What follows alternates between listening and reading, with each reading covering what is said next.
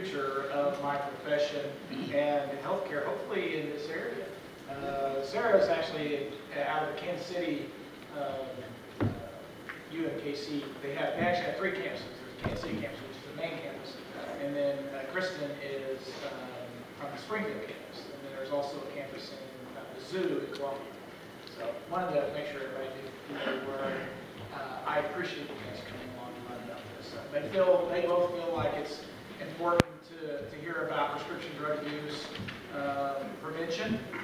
And um, Representative Rehder has been uh, an advocate for uh, many things for our profession, uh, for many reasons, and she'll tell you that. But, you know, as far as the Newton County Community Coalition, I, you know, I started being involved at, Steve, was it 2005, 2006, something like that.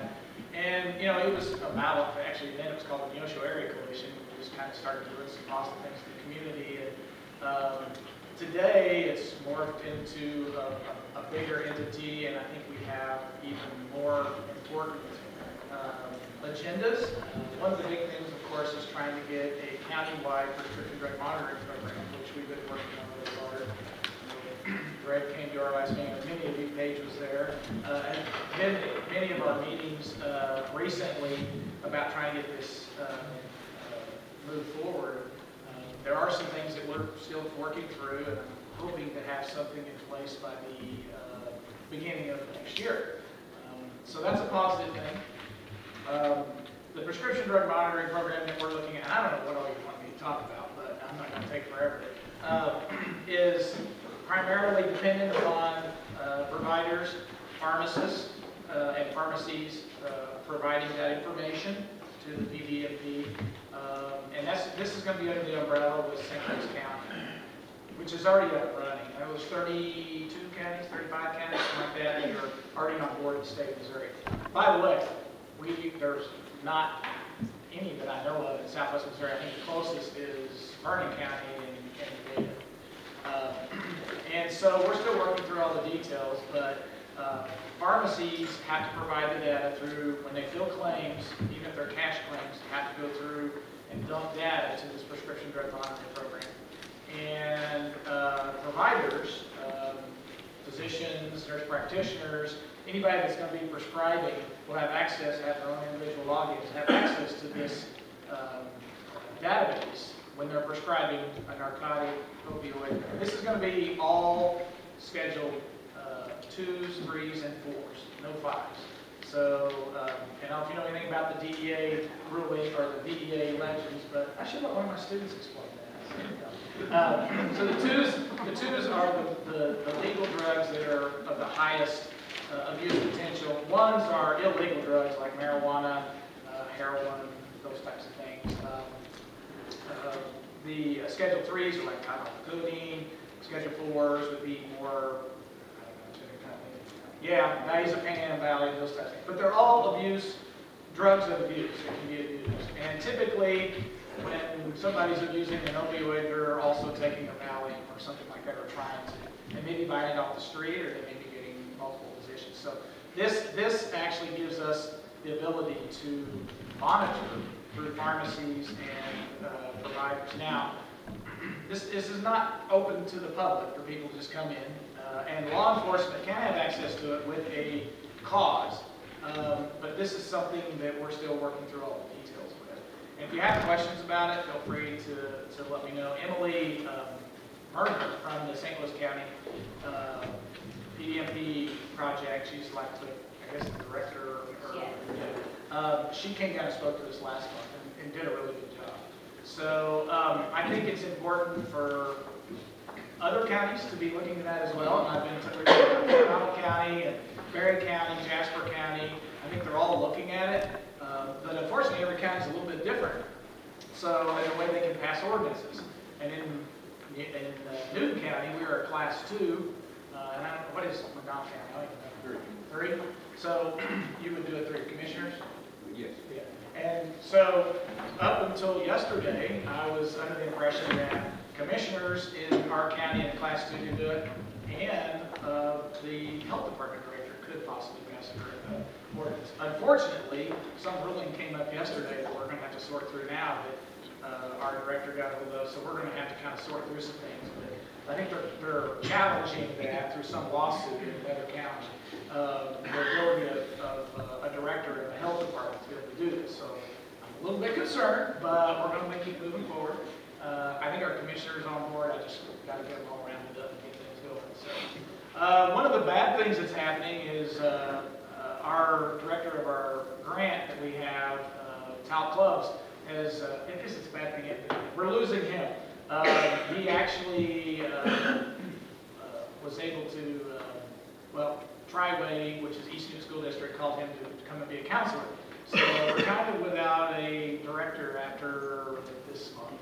Um, and we're still waiting on some other things. So um, we'll uh, hopefully be able to keep moving forward. I think we've got a lot of momentum, and we've got a lot of people attending, got a lot of positive things going on, and very excited about uh, some of the things we're doing. We'd like to continue to share it with you all down here, and, and I tell you, you guys eat really well, so I'm very impressed. Um, I, I, I will probably be back next month, so, uh, did I, am I invited?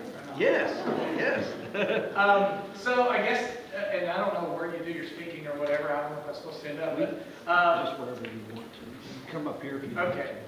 So, um, I've known Holly, uh, mainly through just contacting her through social media. She's very active on Twitter and, and Facebook, and I appreciate her support of what's going on. She has been an advocate. Uh, she's the one that has stuck her neck out of the lines and talked to the governor and talked to the people that were opposed to the prescription drug monitoring statewide, uh, and has been fighting this for the last, well, few years. I don't know how, probably many more years than what I realized. fifth year. Yeah, I, I have personally been involved with it for about seven or eight years, just trying, through the Missouri Pharmacy Association, trying to get something passed. And they keep saying, we're gonna pass it, we're gonna pass it, don't do it. And it, it, it always gets derailed. And so, you know, I'm not blaming our, our legislators, because I know they're, they're working hard, but there's always some way of of derailing what we're trying to do. So what we're hoping to do is get inspiration from people like Holly to try to take this on ourselves and show our communities that we care about what's going on. I'm pretty passionate about it, as you can kind of see. I get a little emotional about it. Um, and I'm not, crying, but, but I, you know, I, I have five children. And three of them are grown now, but I still have two 13-year-olds. And I'm, I'm concerned about the things that are going on in the world, let alone, you know, in, in our little communities and our counties. So I appreciate you so much. Uh, she is, she, she lives and breathes this, I know, or she wouldn't be down here. She drove a long ways to come talk to you guys today. Just want to let you know that. So, Holly, take it away.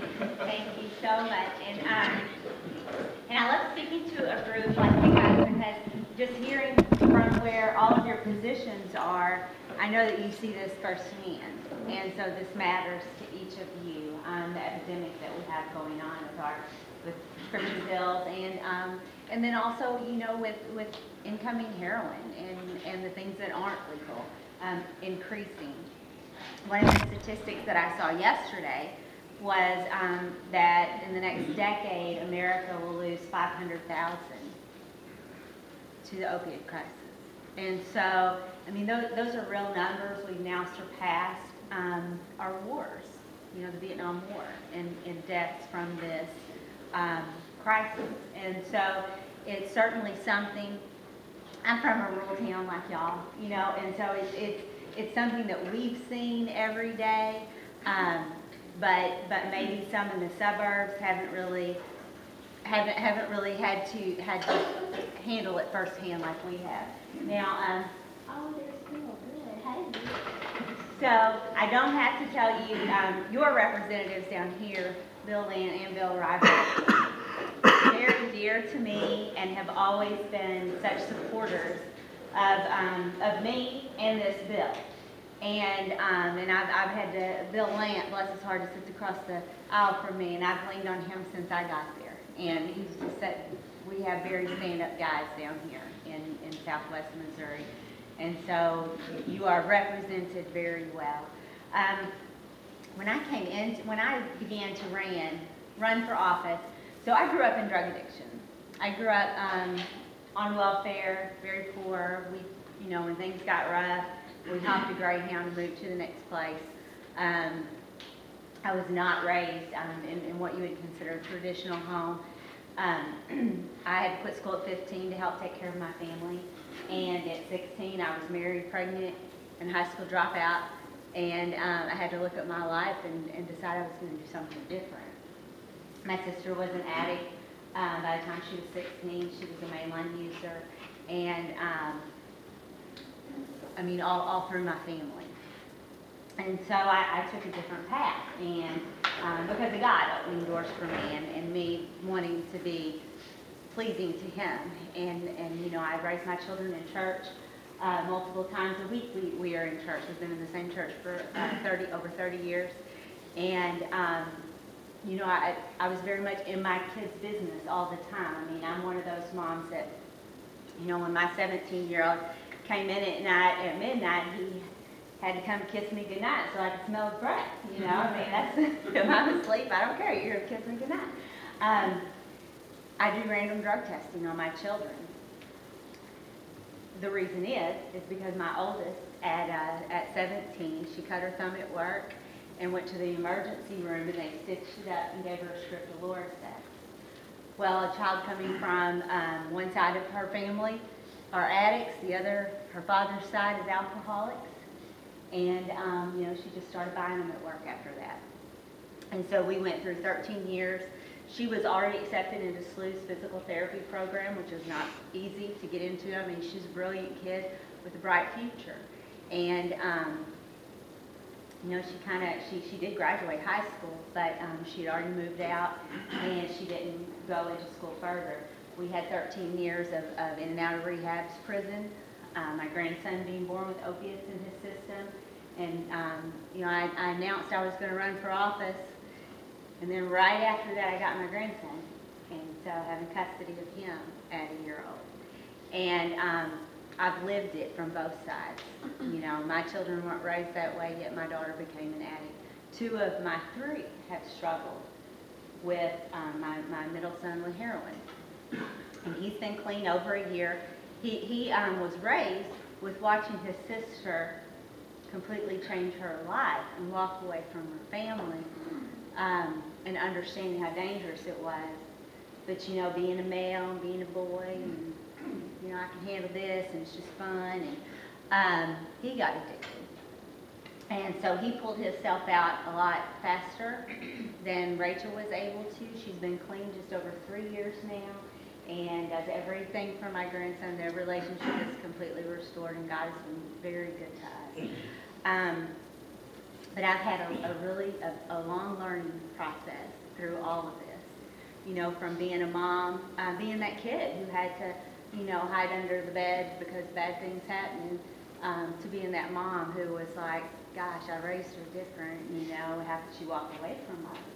And um, how could she choose this life when she has a much better life and she's walking the streets and doing God only knows what? Um, but as, as I've, for the last, well, so it's been 16 years now, um, the last 16 years I've learned a lot. And what I've learned is, um, and, and, and when I ran for office, is also when I found out we didn't have a prescription drug monitoring program, and we were the only state that had not passed this, and I'm like, you have got to be kidding me. You know, when she went to the emergency room, then when she went to a doctor after that, or she went to the dentist after that, no one knew that she had already had narcotics from somebody else. Nobody knew. And the lady that was selling her the drugs at work, you know, she was getting over 300 a month. So all of these things just keep pouring, pouring into this epidemic. And it changes the chemistry in their brain. I mean, this is not something, like she wasn't wanting to be so disrespectful to her family. She wasn't wanting to, you know, I mean, they're, they're, I speak in a lot of high schools, and when I say, hey, what do you want to be when you grow up? It's a nurse, it's a doctor, it's, you know, I'm going into my family's business. Nobody raises their hand and says, I want to be a drug addict. That's not where they intentionally head for this, right? But it really, it really traps them. And so Then when they realize they've started losing stuff and they don't want to be a part of it, then they start trying to push it away, um, but then their body gets sick. And they, and they have to keep feeding it the drugs to keep you at a normal, not painful, not hurting level. So it's a vicious cycle. And, and the programs that we have had in place as a state and as a nation just simply don't work. You know, I mean, when, when we send somebody to a 30-day detox, I mean, my daughter went to 30-day rehab several times. When you send somebody to 30-day rehab, their body might get clean of it, but their brain, their mentality is not there yet. They don't have, they don't understand how to deal with the triggers. They don't understand how to walk, walk it out. And it's just like, and my husband has heart disease. And, you know, I mean, when I busted him down at the bonfire last weekend smoking a cigarette, you know, I didn't say, you ain't coming back to my house anymore, you know? but, but that's kind of, it's the same way, it's a disease. And so it's a disease that has to be maintained every day. Whether it's diabetes, you know, we have to be careful of what we eat. Whether it's heart disease, he knows he's going to die if he continues sneaking cigarettes. You know, and so it's these same things that, that as a society, we must stop looking at it as, you know, the old bum down the alley with, you know, a needle hanging out of their arm and trash cans rubbed over them. That's not what this epidemic is. Um, we have, I mean, I have spoke to so many parents from very wealthy homes that, you know, their daughter overdosed, cheerleader daughter overdosed in the of the McDonald's. You know, I mean, there's, there's so much that people hide. In, in my town, you know, for years growing up, I would hear that so-and-so was, you know, back off on a ski trip. Well, no, he wasn't. He was in rehab. You know, and we've got to start talking about this, and we've got to make it more acceptable and not so stigmatized because it's mental illness, you know, where, where some people have a poor heart. Um, in my family, we have problems in our brain, you know, and um, whether it's schizophrenia or whether, you know, what kind of mental illness it is. It's not always something that you can see, um, but that's what this is. And so we have to, we have to understand what it is and then start working with it in that way. Um, we've been successful in getting more money in mental, um, into mental health over the past few years, which is very necessary. Um, it's less expensive to have someone in long-term care versus the prison system. And, um, and much more successful. You know, I had, um, uh, the gentleman who, who was over the prisons told me that 75% of the inmates who came in last year had some form of substance abuse um, disorder, substance use disorder. So with those type of numbers, I mean, we know it's a problem. We know it's expensive on the state when it comes to children. And my grandson came to me, but where do those babies usually go? You know, and, and Bill Lant's been working on, on those bills for some time now. Um, you know, our foster care system is overloaded. We have, in my part of the state, I have school districts that'll tell me 20% of their children are staying outside of, of the father or the mother's home. And the majority of it is because of substance abuse. So, the PDMP is extremely important in this. And we talk about the doctor shopping, where if you go from one doctor to the next to the next, the pharmacy and the physician, the pharmacist and the physician, don't know that you've already gotten a prescription. And so that part is, is very, very important to be able to not write that prescription, to be able to say, look, we need to talk about your addiction in the physician's office or with your pharmacist you trust. But another very important part of these programs is they are a clinical tool. And so where you have a physician who can say, you know, Rachel, we need to talk about your addiction, and let's talk about the steps to help get you back to a happy, healthy, productive life, instead they know nothing. So our physicians are very much um, prescribing blindfolded. I've had um, physicians tell me that one of one of the worst parts is is that when that there's lethal combinations in you and law enforcement and in the medical community, um, know much more about this than I do, but they're a lethal combination, so if you have a psychiatrist who is giving you Ambien Xanax, and then you go in to see your physician, you, uh, you know, have a hurt back, and you get put on opiates, um, you know, there are some of those combinations that can kill you, that cause overdose. And so that's also another reason that our, our epidemic is so high. Our medical community just doesn't know what each other should do. And so this is simply a, a medical tool, a clinical tool. Um, it is very much covered by HIPAA law, so it's no different than electronic medical record, um, which we already have, and, and we talk about yearly about, you know, making more access, making sure they're integrated and doing all these wonderful things with electronic medical records, yet this is the same thing. Our government is not allowed to go on a fishing expedition in this program.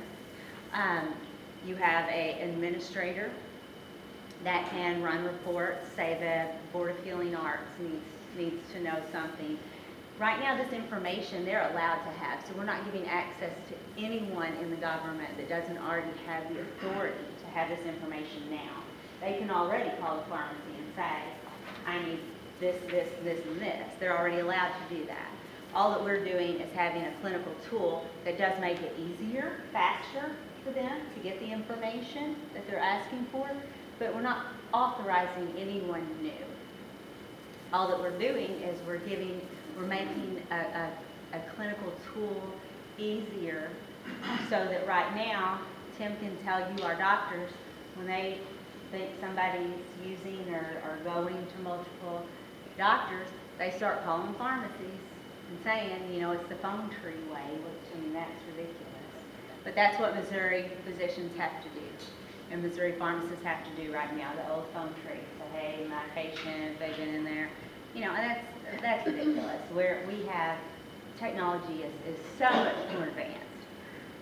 But every year, as Tim mentioned, we do have it side rail. And, um, you know, as much as I love to throw Dr. Schaaf under the bus, um, Senator Rob Schaaf, who has stopped this every year successfully, um, this year it wasn't his fault, you know. Um, for whatever reason, he came forward and he said, if you'll make this mandated for physicians to have to use it,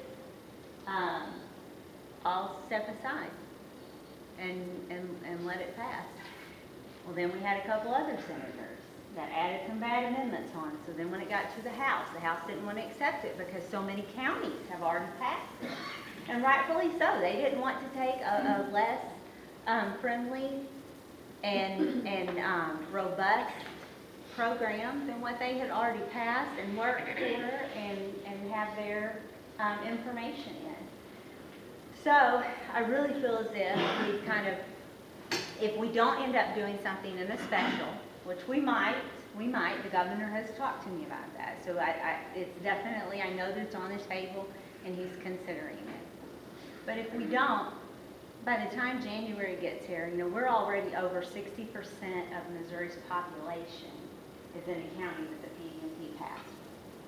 What that's going to do, and, um, and, and I speak very loudly about this, my county, all the things, can you imagine? My county hasn't passed it. Uh, all the counties around us have, and it's like, okay, folks, y'all know where they're going to come if they're doctor shopping. They're going to come to our county. And so same here, you know, and so what has happened is the counties are just, you know, it's, it's passing, passing, passing. Greene County is going to do their first read on Monday night, from what I understand of their ordinance. So Greene County, um, in the process, they're gonna get this passed. So all of, all of us, um, I've been working across the state, talking about this, answering questions. Emily Varner will come down and work with you. The cost is really minimal. Um, like for my county, for Scott County, it was gonna be eight hundred a year. Hundred and fifty dollars for the See, it's unreal. It's so inexpensive. And, but to think of the savings, to think of the fact that we're not, um, you know, I mean, it trains people. They won't be hitting your emergency rooms. You know, they won't be, there, there are just certain things that the cost will go down. you won't have as many overdoses, so you won't have as many ambulance runs. You know, so that eight hundred dollars a year will more than pay for itself. And, um, and it's just so important. I mean, just from the keeping people alive and helping them get into long-term programs and helping them understand. I mean, the comment that Dr. Schaaf made a few years ago, you know, about cleansing the gene pool is just horrific. And, um, and for someone who, um, that's my gene, you know, I mean, it is. You know, two of my three children, I met my aunt, my mother was adopted, and all of her sisters and brothers were adopted out. Um, I got to visit with my biological aunt this weekend. Two of her three children are addicts. You know, I mean, it's just, it's a part of our, that's my DNA. And, um, and my daughter is the best mom I know now. Was she three years ago? She was not. She was not. And I, I can only imagine things my grandson saw. But now, she's the best mom I know. And that's a family that's been restored. And that's a child that, you know, if I wasn't his grandmother, that's a child that could have been in the, in the system until he, until he grew up and then could possibly be a problem at that point, you know? And so keeping people alive and helping them get into a long-term program that they understand that this is not, we're not kicking you because you have tripped up and messed up, you know, six months in. Get back up and let's, let's keep trying and train, you know, training their mind and, and understanding the triggers and how to handle it is so important. Um, and you guys were talking about education earlier. And that's one of the things that we saw with smoking. You know, when we started putting that education into the classrooms and talking about smoking, it's really gone down. Our, our smoking has gone down. And um, we're going to have to do that with prescription drugs. We're going to have to do that. Um, even my son, my youngest, and he doesn't mind me telling this, but he's 20 and in college. But his senior year, and like I said, I do random drug testing. So and my middle son always said, he's like, Mom, I like it that you drug test me because when somebody's passing a joint or whatever, I'm like, y'all know my mom is crazy. she will drug test you too. So, you know, he's like, it helped me. I, there's no pressure, peer pressure on my side. You know, everybody knew you're crazy. So with my youngest son, uh, his senior year, so just a couple years ago, he's going into his junior year of college, he comes in, and I'm like, hey, drug test Tuesday, you know, let's head to the bathroom. He's like, ah.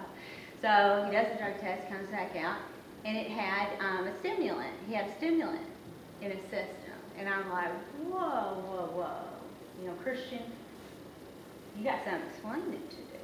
And he's like, oh, no, no, Mom. That was um, me and so-and-so split an Adderall before the basketball game because I stayed up too late last night. When we stayed at his house, we stayed all night, blah, blah, and I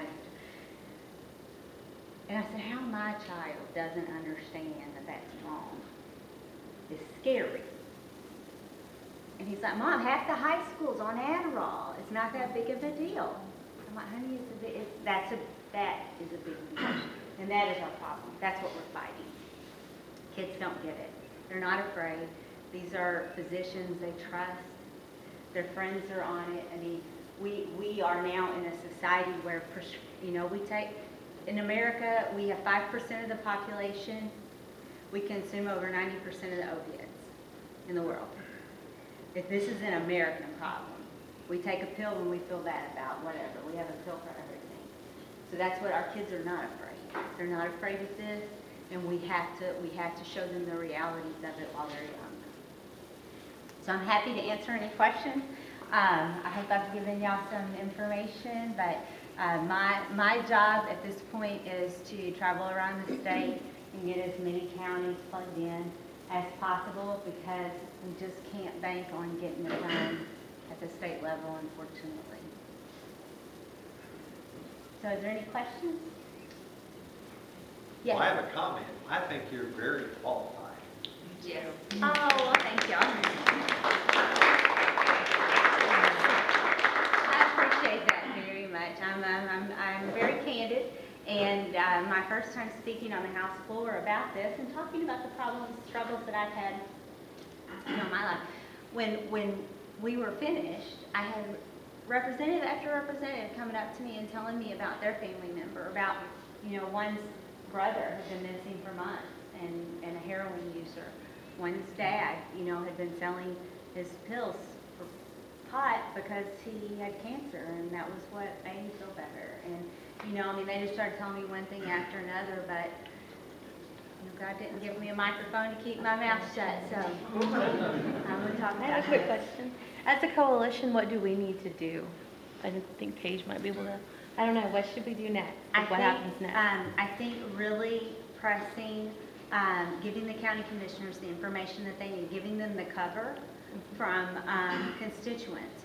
You guys as a coalition can really reach out and educate the public on why this is important, this isn't an infringement on privacy. This is a clinical tool that we're not giving anyone permission to have access, that doesn't already have permission to have this now.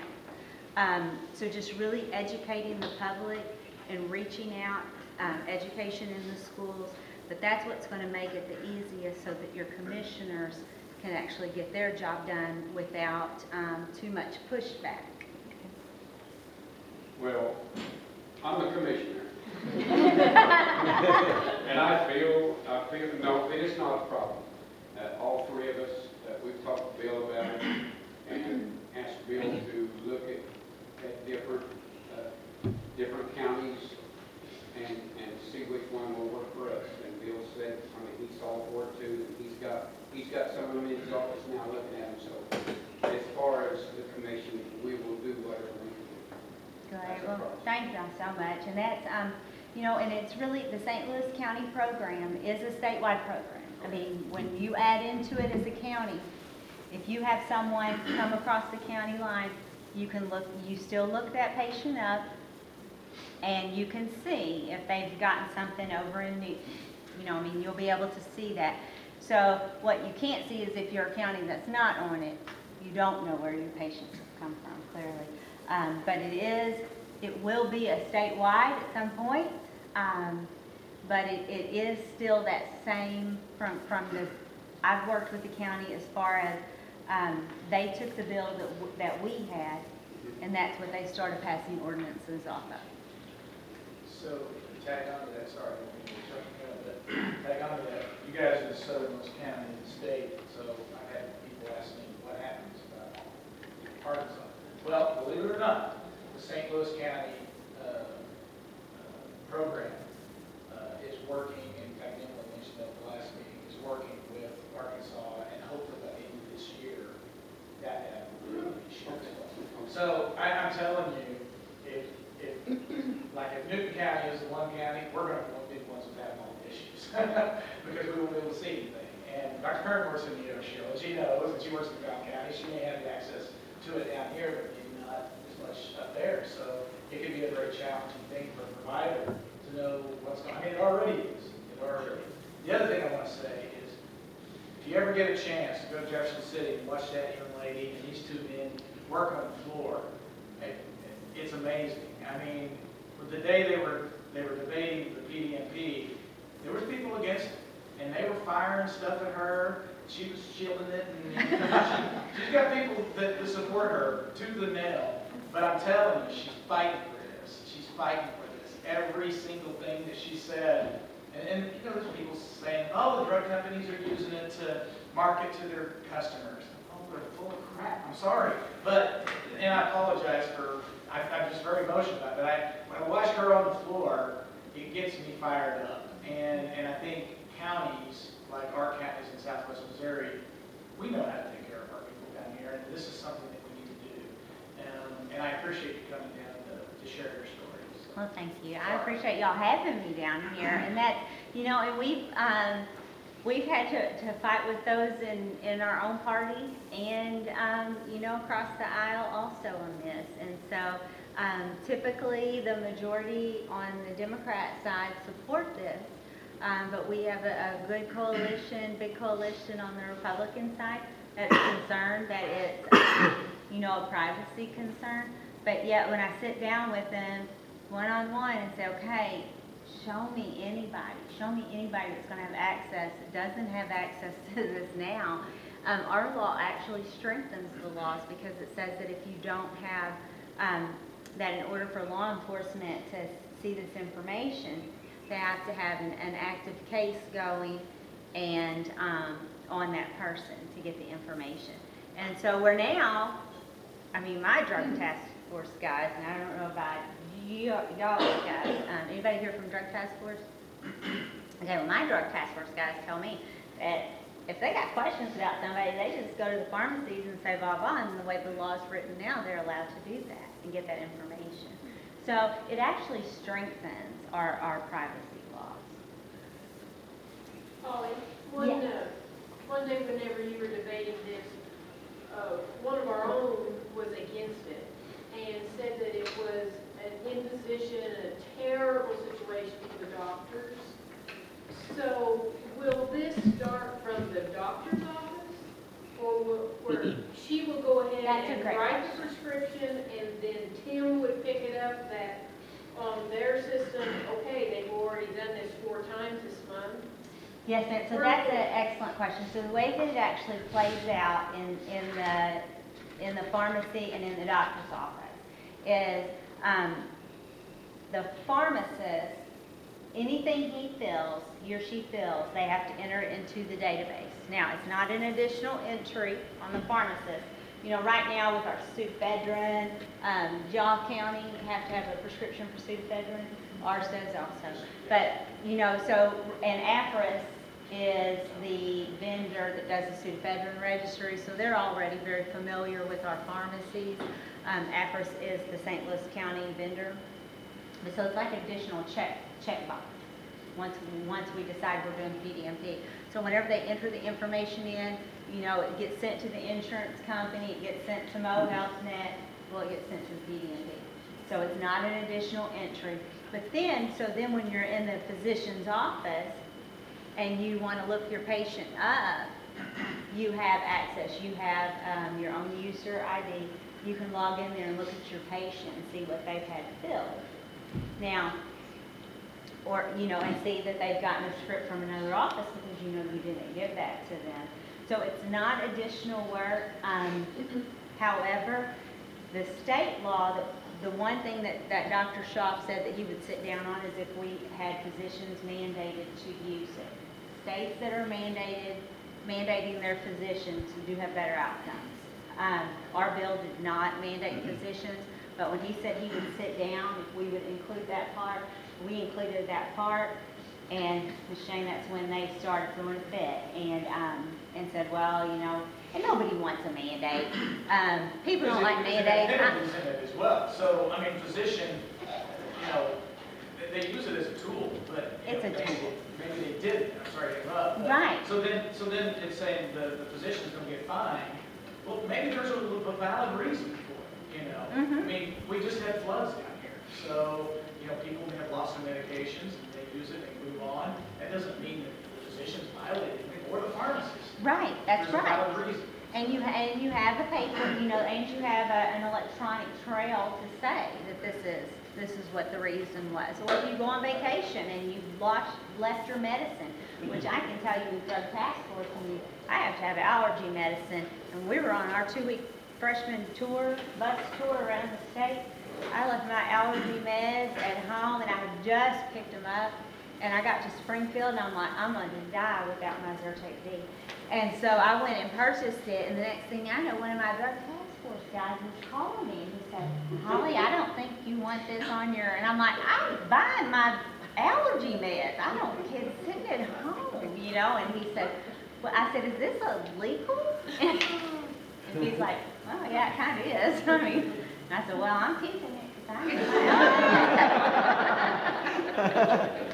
So, but it's, you know, I mean, we're doing that now for the pseudoephedrine, and, and it, it, it's no more intrusive, or, you know, I mean, Yeah, It's- it's- With the pharmacy side, I'll tell you, and Greg can attest to this as well, basically what it is, is a data dump at the end of the, for all Schedule two, threes, and fours, either at the end of the day, it can be done on a twenty-four hour basis, uh, I, which means, you know, as we're filling, it goes through a switching company, and all that data is shared with the PDP, so, you know, as soon as I build something for one of Dr. Kern's patients, or any patient, that, Dr. Kern can go on and look and see what, what this person's had.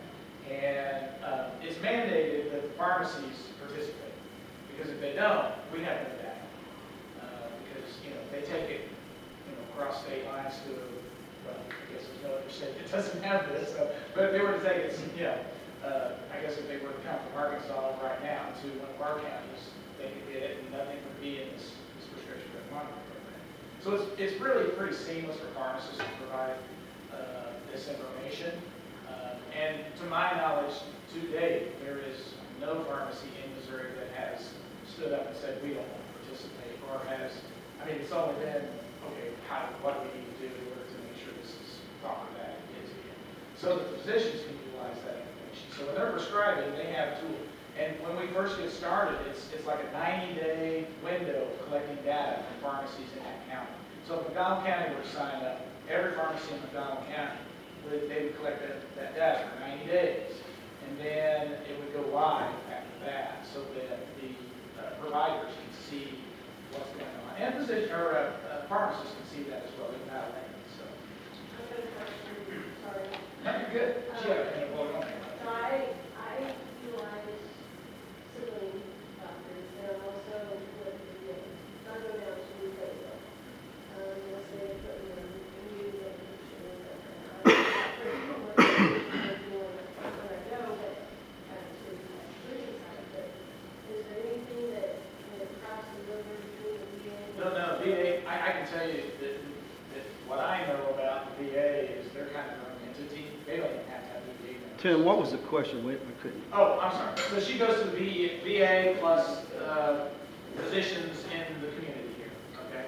So what her question is, is she was prescribed uh, hydrocodone in the VA, and she came up and got hydrocodone from a physician at Freeman here, or Access Animal Care or something.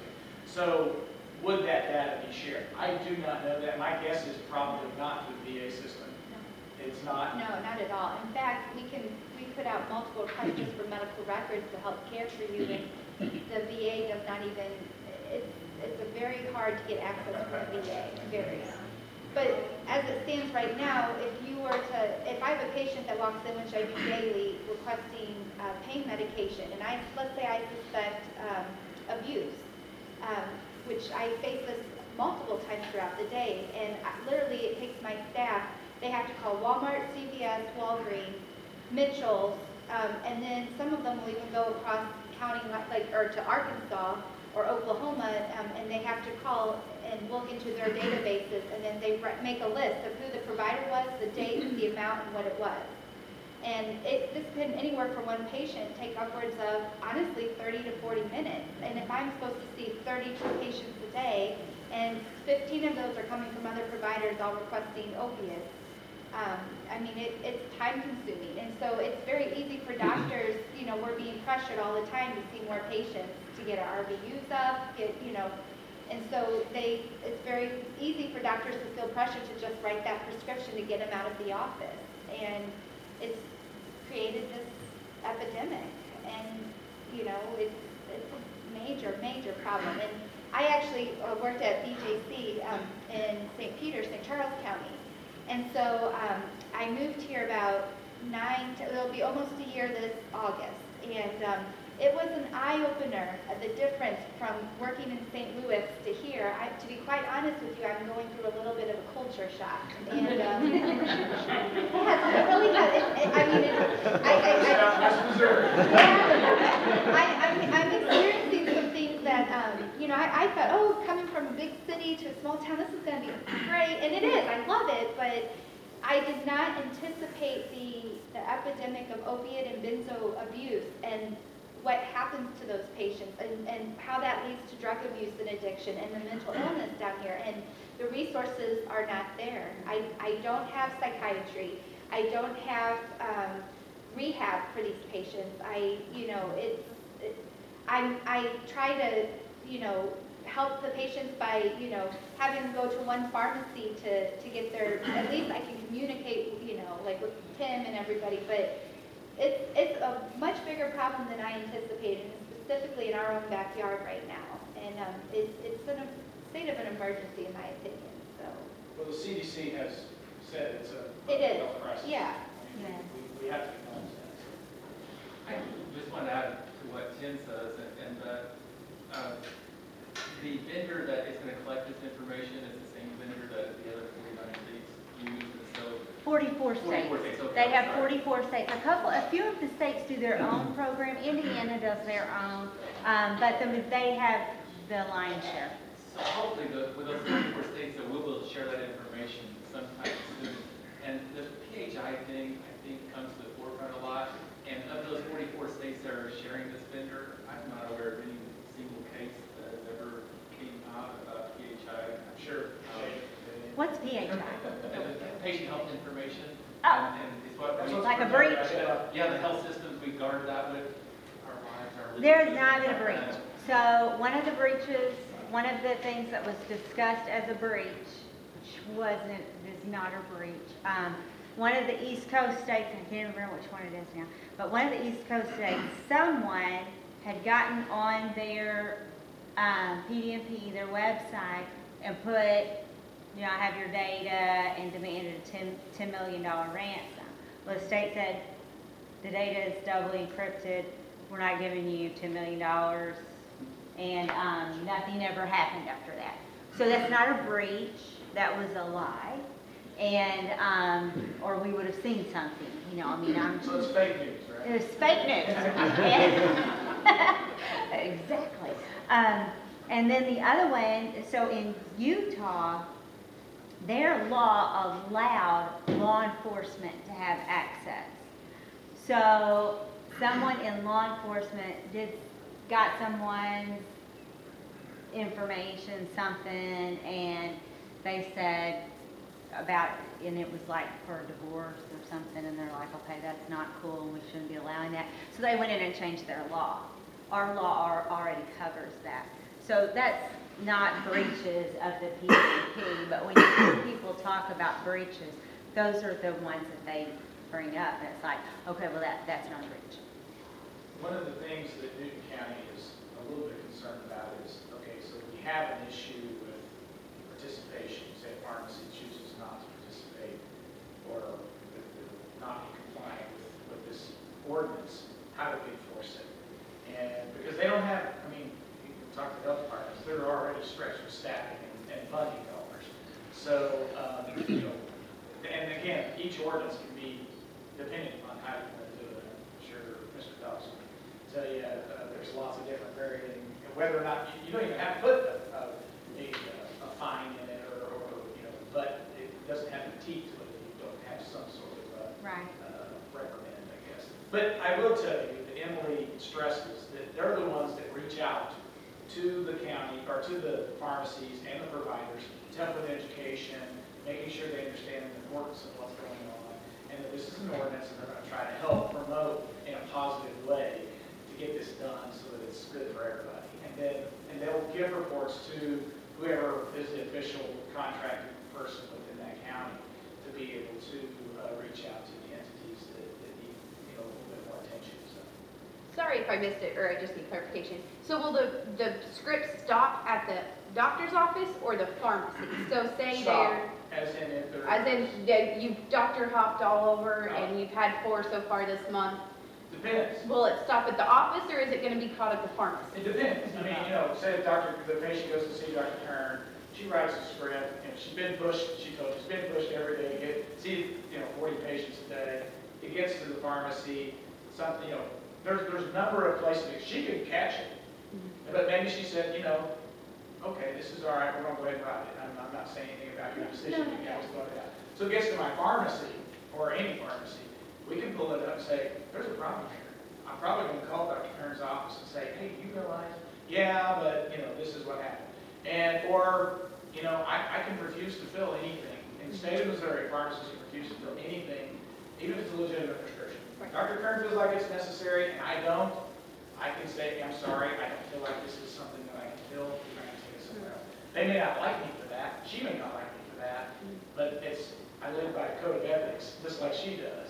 And so, you know, it's important for us to realize that multiple places it could be stopped. And, and It- even one other place, there's all, there's um, internal, so you set up, these systems are set up with internal flag system. Sure. So, um, like in Indiana, I think it is, they have theirs set up to where it's like if you have over six, if you go to six physicians in sixty days or something to that, you get flagged.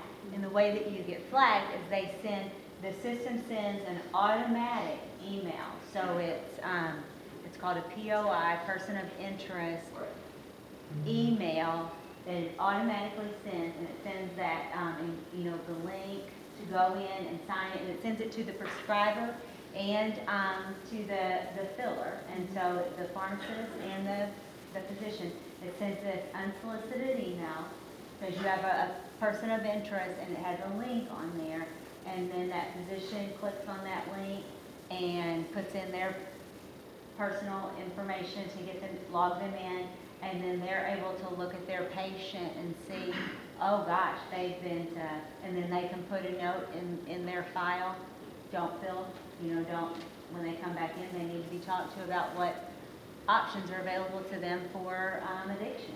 I believe in St. Louis had three doctors plus three pharmacies within six months of what equals that in, in the St. Louis County. Oh, wow, okay. And, and the good thing about this one is the data doesn't archive after, what was the, the one that was proposed, ninety days? Um, Or six hundred and eighty? Six, six months, we got it to two years. The final, the final bill was two years, which is kind of the standard across the US. Sure. But, um, that was, it was the last day of So session. this one's Nobody not cared. archived, so, so we can still Yeah. see the data past six months. I just didn't know how real time the data was, you know, because you mentioned like a data dump or whatever. It can't So, be real because I know, Yeah, the original, the original bill that they were proposing would, said that it would be real time within a year, By twenty twenty. by twenty, oh, two or three years. Um, you know, personally, I'd like to see it now. right, Right. Um, just because I've heard through professional experience and- and just heard before, you know, people go, well, I'm gonna go to Mustang Drug this morning, and I'll go to the Knoll Pharmacy this afternoon, and I'll hit Walmart eight later this evening, you know, so what's keeping them from hitting just those three little, you know, pharmacies within fifteen minutes of each other within an hour time? So by next, by the next month, when they go back to get their scripts, the physicians see that they went to three pharmacies in one day. So it doesn't catch in the first month, um, but it is a twenty-four, the- the St. Louis County one is a twenty-four hour, so you- it's, you know, one day's worth, but some pharmacists are doing it, um, in real time. But, um, but yes, you will catch them next month, or in three, is it one month of, of prescriptions that you write, or? Well, you technically only have to see the patient every three months to give them prescription. Like- And one of the things I wanted to mention, um, to your comments, and I can't imagine experiencing that all day long every day. Um, we do have a new, um, Dr. Randall's, Dr. um, Randall Williams is over the Department of Health now, and he is extraordinary on this topic. He is so good. He come from North Carolina, did a lot of very innovative things with opiates there. And so I foresee um, some really good things coming out of them. And then the, we brought in a new, or the governor appointed a new director of um, the prison systems. She's phenomenal, and she also understands addiction. I had long conversations with both of them and requested that we start working more on long-term care, putting money into long-term care, which is less expensive than the prison system. And so they both agreed and told me some wonderful things that they've already done. They know much more about it than I do. But I do hope that we are pointed in a, in a much better direction um, on this as far as helping people. Think it's important to get out to the people that that prescription doesn't have to stop anywhere though. If, if that patient goes to our cancer institute and then goes to Jim's pharmacy, our pharmacy or whatever, we still have the ability to use our judgment and still give the people that need the medicine the medicine. And so there's nothing that's gonna stop legitimate patient needs from being met. Uh, it- it's just stop. I have found when it comes to, I had a lot of chronic pain, people say, hey, this is gonna hurt me because I'm gonna be the one that's hurt when they start pulling back on the opiates. But what I have found from speaking with physicians is, right now, they're having to spend so much of their time being investigators, as we just heard. Um, people with chronic pain are actually getting scrutinized more than what they would get if that physician could just simply look into the system and see, they've not been anywhere in the last three months, other than her office. And so they actually get um, less scrutiny, those with chronic pain and that actually, you know, have the need, than, um, than they do right now in Missouri. Well, I brought some of the uh, handouts that Emily Varner brought down, because it was kind of just kind of an overview of their system. So I'll put up on that table, so if you don't want one, you can one. And anyone, I'm sure the website's on there, you can go in there and look at their information. They have, um, on, you know, how many counties have passed this, where it's already operating, which ones are gonna be in the next wave. Um, they have a lot of great information explaining, um, these programs, and so I, oh, excellent, yeah, very good. Thank y'all so much for having me, I appreciate y'all so.